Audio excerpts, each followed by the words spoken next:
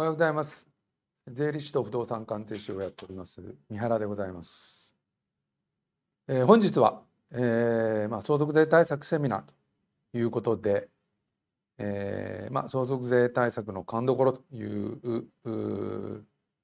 テーマでお話を申し上げたいと思います。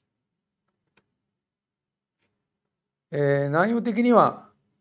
えー生前贈与の勧めということで、え生前贈与について、えーお話をさせていただきます。それから生命保険、まあ、これを使ってのうん相続税対策についてお話をさせていただきます。えー続いて、えーまあ、皆さんが一番興味あるところかもしれませんが不動産活用による相続税対策いうことをお話しさせていただきます。で最後にまあその他ということで、えーお話をさせていただこうと思います。えー、したがってあの本日は、えー相場的な相続税対策のお話になってこようと思います。えー従いましてあの皆さんがあ本当であれば一番興味あるのは不動産を使っての相続対策かもしれないということもあるとは思いますが、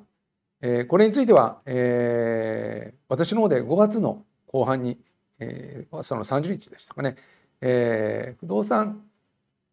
特にあの賃貸のアパートとか、まあ、マンション、うんまあ、例えばワンルームとかそういうものを使ったあ相続税対策に特化したお話をおさせていただきます。えー最初からあの宣伝になってまいりあのしまいましたが、えーそちらの方もぜひ、えーお話をお聞かせあの聞いていただければというふうに思います。それでは、えー早速内容に入りたいと思います。まず生前贈与の勧めということでございます。えーまああ相続税対策の王道と言ってもいいのかもしれません。えーまあ、ご承知のように、えー平成27年からあ相続税の基礎控除が減ったりえ税率が上がったりというようなこともありますので、えーまあ、特に基礎控除が減ったことについては非常に影響が大きくて、えー今まで相続税は私には関係ないだろうと思われた方があもう対象になってくると。まあ、東京圏であれば、えー自宅不動産をお持ちで預貯金があれば、えーまあ場合によっては、えー相続税がかかりかねないというような状況にまでなってきておりますので、えーやはりそこも他人事ではないということで、えーまあ、できるならあ生前から少しずつでも相続税対策を打つ。ということをあのお勧めしておるわけでございますがまあその中でも手軽と言っては言い方が違うかもしれませんがこの生前贈与というのはこれは特に費用がかかるわけでもありませんし、えーリスクが高いということでもありませんので、えーまあお勧めをしておるところでございます。それでは早速内容に入りたいと思います。まあ皆様ご承知のように贈与は毎年、まあ、年間110万までは、えーまあ非課税というんでしょうか税金がかからない贈与税がかからないということになっております。したがってまあ税金をかからない範囲で、えー毎年110万を、えー子どもさんやお孫さんに贈与していこうということでございます。まああのう贈与税については110万までは贈与税かかからないとなっておるわけでございますからこれは非常に手軽にできるということでございます。まあ、110万かというこれはあのもう少しなんとかならないかということでしょうけれどもまああのちりちりちりも積もればとあの全然110万はちりではありませんがあのえーまあ何年も続けられるということであれば、えーこれも効果が出るというお話でございます。えーまあなんといっても無税で贈与できると。えー子供2人に毎年110万ずつ贈与したということです年間220万ということですが、まあ、10年ならば2200万円相続財産を減らすことが無税でできるわけですね。したがってまあ10年20年とやっていけば効果は非常に大きいしかも無税でということですから、えー、ただ問題は時間がかかるということですのでなるべく早くから実施することが好ましいということではなかろうかと。えー、ただまあこの贈与について、えー、まあ、相続が発生した時に税務調査なんかが入ると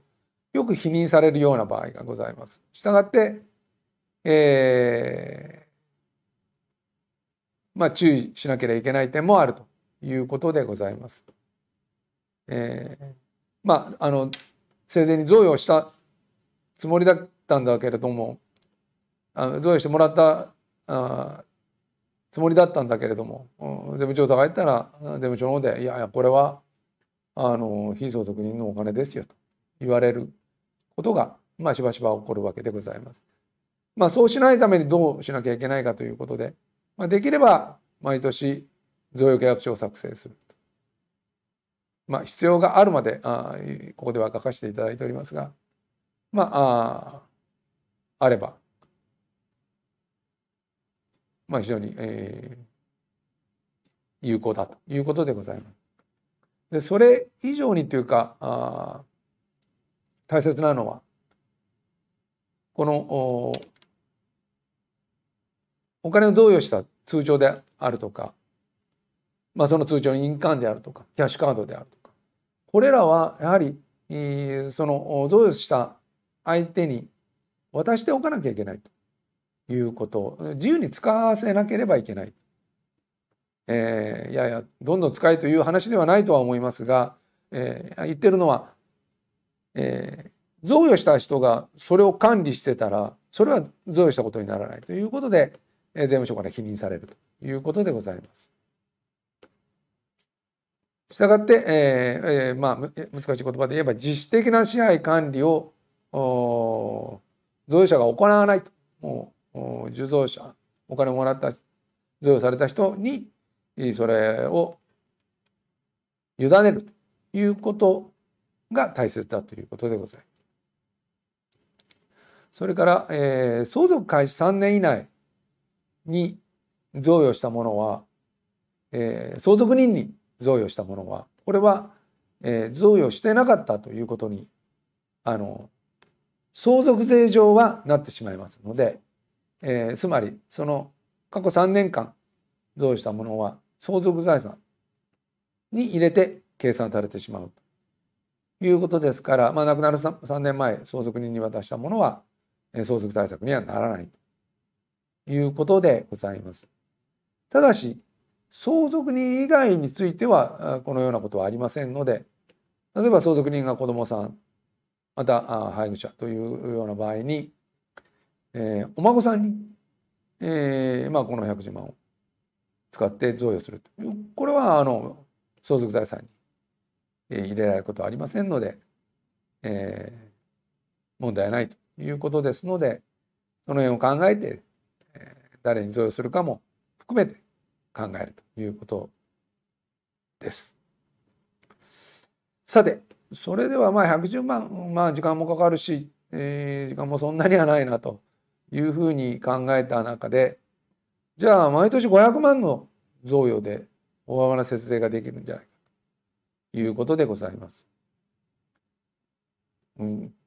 でも贈与税かかんじゃないのということでございますがもちろん贈与税は110万を超えたものについてはかかってしまいますので、えー、まあそこはもちろん考えなきゃいけないということになりますが例えば相続税が相続財産がまあ30%で課税される方は30%以下の贈与税率であるならば贈与税を払ってでも生前贈与を進めた方が有利となるわけでございます。えー、500万に対する年間の贈与税額は500万から110万を引いた390万に贈与税がかかります。でこれを下の贈与税率表で、えー、計算しますと、えー、48万5千円ということになります。先ほどの例で子どもさん2人にそれぞれ500万ずつ贈与したという場合まあこれはもちろん1人ずつで計算しますので倍の97万ということでございます。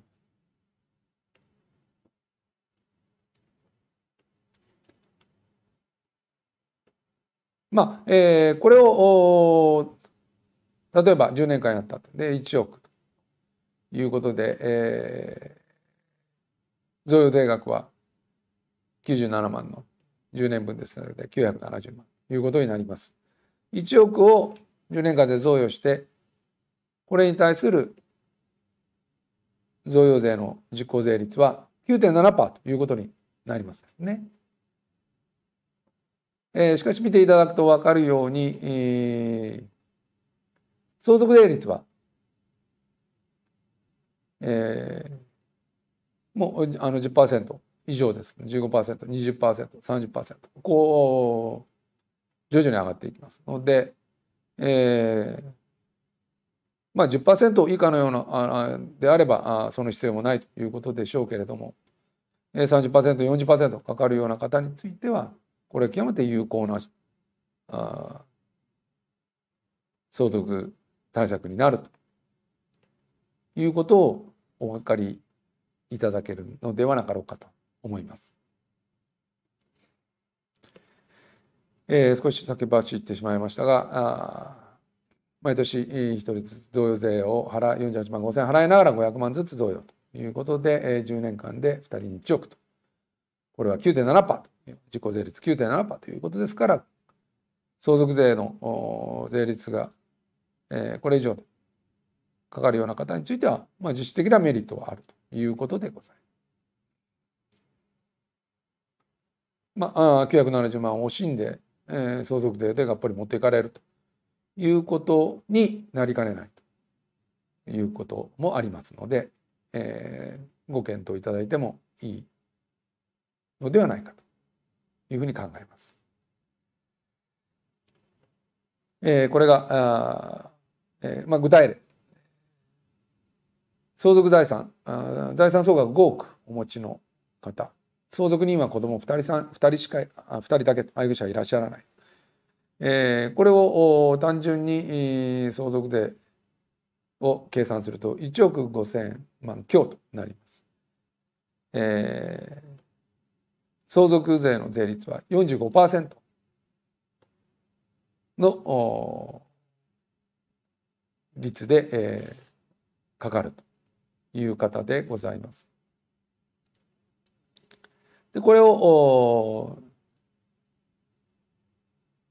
先ほど来申し上げたような500万ずつを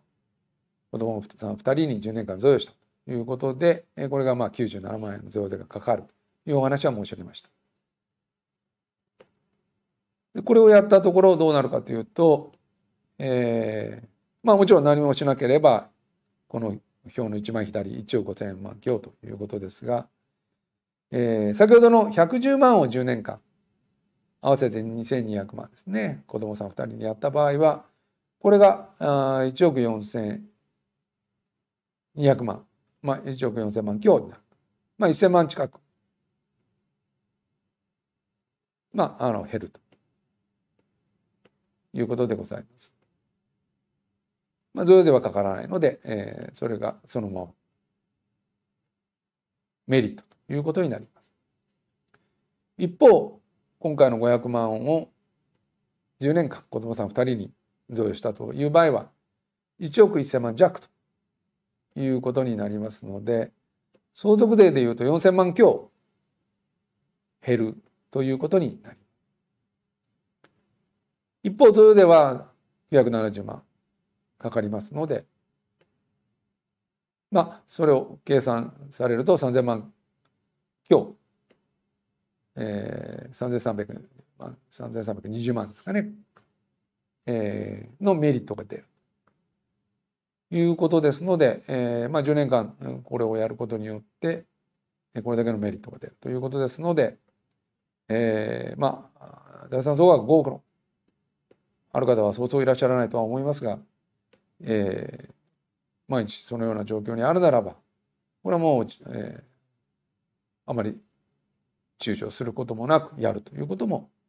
必要になってくるのかもしれません。さて、えー、まあ注意点ですけれども、まあもちろん先ほどは5億の例でしたが、まあ2億以上あるような資産家の方、まあこういう方がに適した対策だろうということでございます。あ先ほども申したように相続税負担率があまり高くない方は贈与税の方が高いということになりかねませんので、えー、そこはちゃんとシミュレーションして計算してということです。さてもう一つ贈与には今お話ししてきたのは歴年課税というこの左側の、えー、課税あの贈与税の制度でございます。えー、贈与にはもう一つ相続時生産課税制度いうのがまあ特例と書かせていただきましたが先ほどの歴年課税を原則とすれば特例ということで書かせていただいておりますが、えー、あります。で、えー、これは、えー、先ほど歴年課税については年間110万まで非課税と申し上げましたが、まあ、相続時生産課税、えー、ごめんなさいね。これ相続時生産課税。相続の時と書いて。相続時生産課税。この制度は、えー、非課税枠は選択後選択1回選択するとこの歴年課税には戻れなくなってこの相続時生産課税制度を一つ一本でいかざるを得ない。しかもあ一生あのそれでいかなきゃいけない。歴年に戻ることはできない。ということですが、えー、ただし一生涯のうちまあ一生涯のあの累計ですけれども2500万までは非課税。いうことでございますだからもちろん一度に2500万でもいいまあ税金はかからない贈与税はかからない毎年500万ずつ5年間でもかからないいうことになりえー、一生涯で2500万まではかからない。じゃあ超えた部分はどうなるかというとこの下のところで下から2番目のところですかね。2500万を超えた場合については一律20%の贈与税がかかるということです。えー、ただこれは適用者が絞られておりまして、えー、贈与者は満65歳それから受贈受贈者は満20歳以上の子供ということになっております。それからこれについては必ず届け出申告を翌年の3月15日までにしなければいけない。えー、歴年課税110万を超えてなければ申告はする必要もないわけですが、えー、相続生産課税はもういくらでもこれを一回選択したら、えー、毎年毎年っていうか贈与されることに、えー、3月15日翌年の3月15日に申告しなきゃいけないということでございます。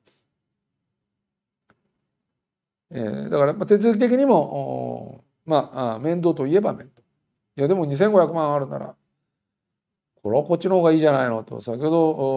ど随分110万だったら時間かかるって話じゃなかったかと非課税枠を使うというのはということだったんですが実はこれあの話最初最初にお話しすべきだったかもしれませんが一番下、えー、相続が発生してしまうとこの相続生産課税で渡した贈与財産は全て相続財産に持ち戻されて、えー、相続税が計算されてしまうというなんだそれということですが要は相続税の計算上は贈与していなかったというふうに考えるとカウントされるということでございます。したがって相続税対策としては全く意味を持たない。全く、ごめんなさい。えっ、ー、とそういう意味では意味を持たない。いうことになってまいります。じゃあなんでこんな制度があるのかということですが、え、これはまあ一般的にはその高齢者の持つ、金融資産をできるだけ早めに若年層子供さんやお孫さんに渡して、えー、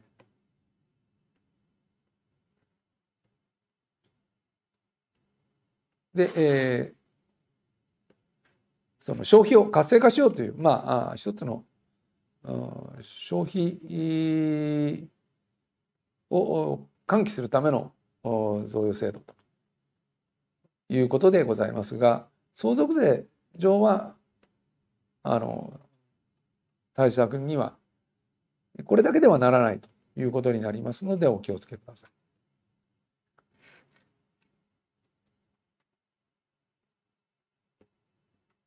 ただ、えっ、とじゃあ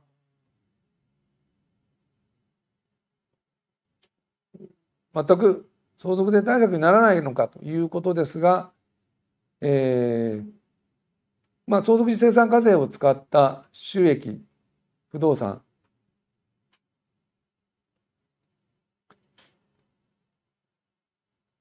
の贈与というのがこれがあの自主的には相続税対策になると。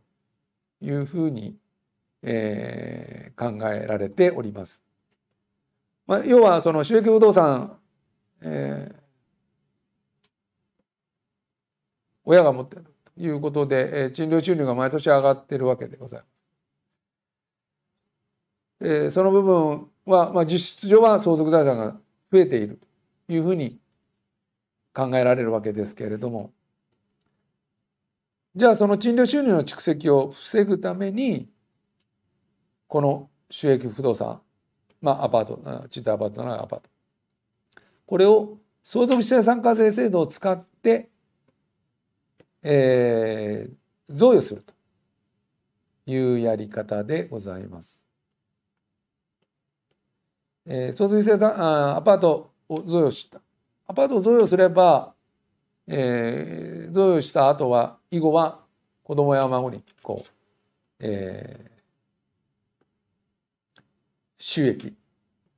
賃料収入が上がるわけですね。だからお父さんの方に、えー、が蓄積するということがないわけですので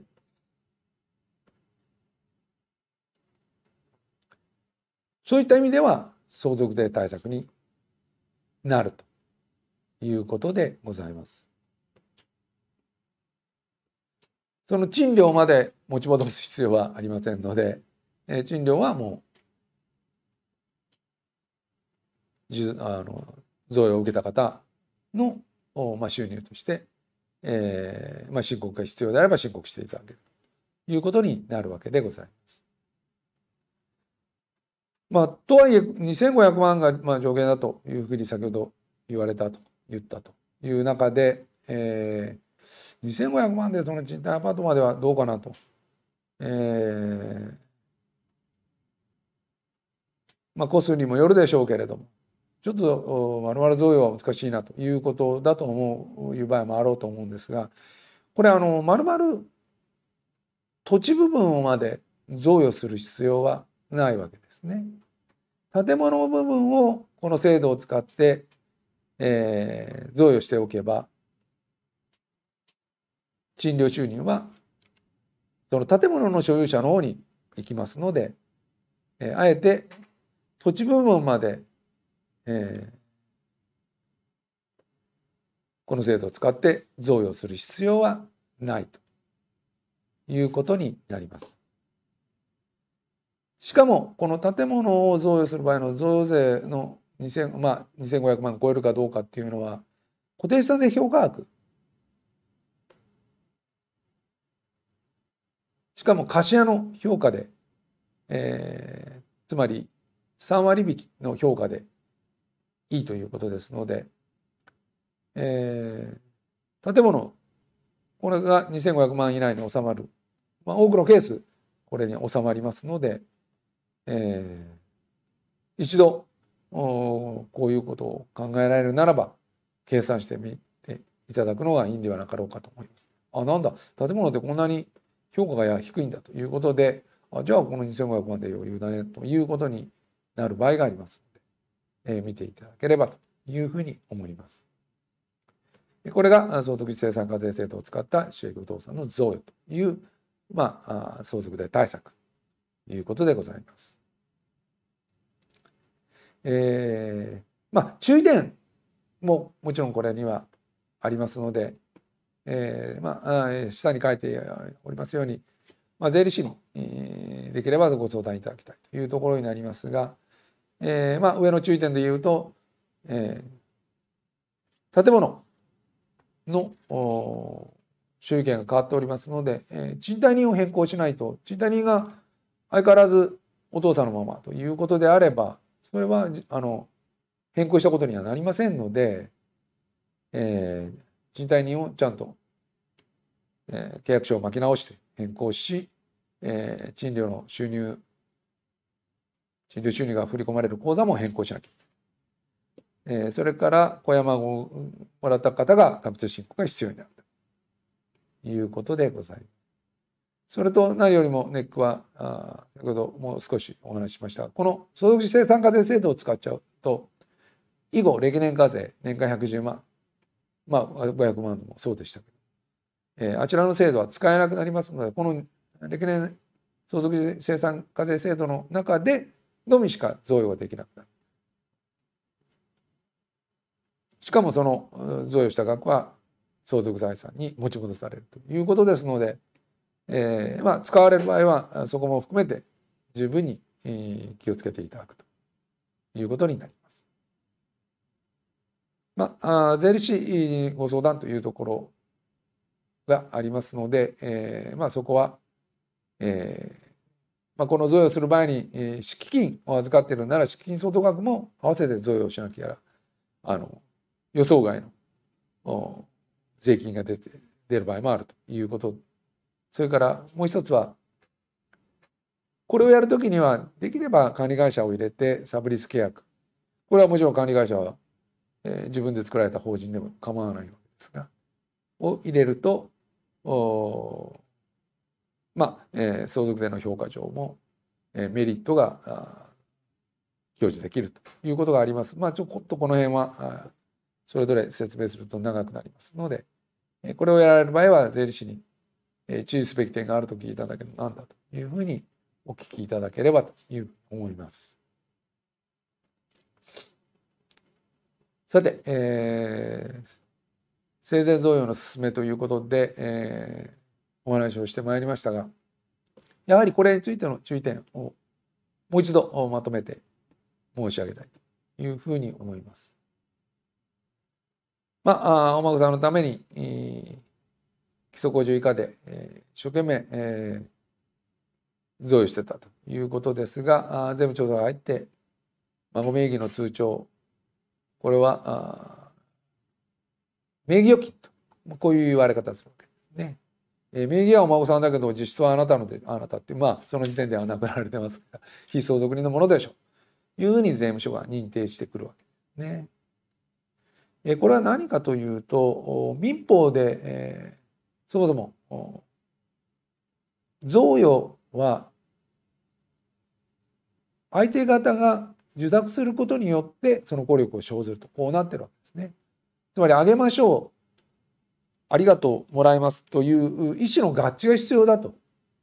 されておるわけですね。したがって、えー、お孫さんのためにしかしお孫さんが無駄遣いしないようにしないといけないということでお孫さんには内緒でまあまあ内緒じゃないまでもいつかあげるからね通帳をまとめてあげるからねみたいなことでは、えー、残念ながらお孫さんが受諾したということにはならないというふうに考えられるわけです。したがって、えー、贈与は成立していないというのが税務署の考え方ということでございます。したがって、えー、もらわれる方はその贈与の事実を知ってますか？もらった預金が溜まってるの知ってますか？その通帳は自分で管理されてますか？まあこういうことが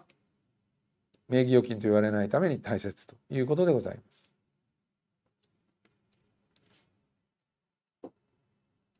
えー、知らないという、えー、でも調査書いて「いやよく知らなかったんだけどなんかそんなこと言ってましたけども」ぐらいでは、えー、贈与の事実はなく、えー、自分の預貯金をまあ名義変更したに過ぎないというようなことになってしまいますのでお気をつけください。名義預金として相続財産せっかく時間をかけてやったのに意味がなかったということになるわけでございます。えー、そのためにもまあ贈与